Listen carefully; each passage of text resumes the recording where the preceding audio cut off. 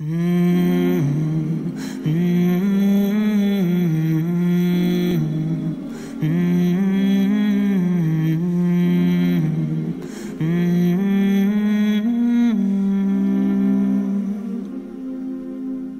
mountains of Mecca, what can you say of the day that Abraham passed your way?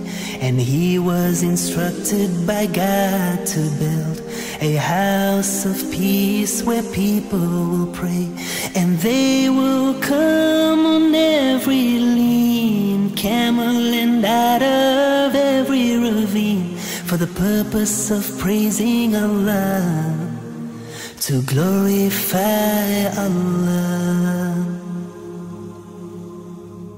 O mountains of Mecca, what can you tell of the day that stones from the sky fell?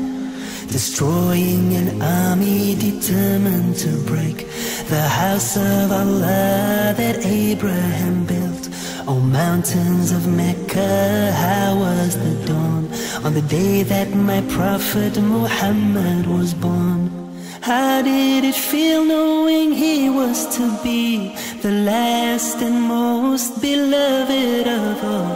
Rasul of Allah, Nabi of Allah.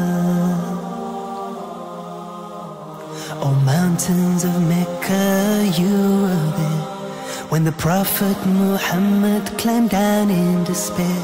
Engraved in his heart were the words of his Lord to all of mankind. This was his call.